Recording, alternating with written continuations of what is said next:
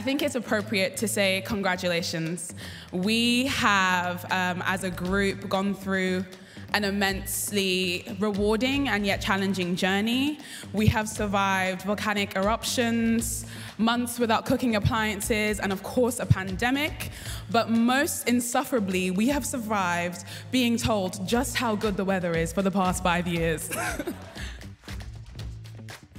all in all, it's been an amazing journey. We've been welcomed by Gozitans and the Maltese alike. I think I can confidently say to the graduating class of 2022, you are exceptional. You are certainly more than capable of facing anything that life throws at you.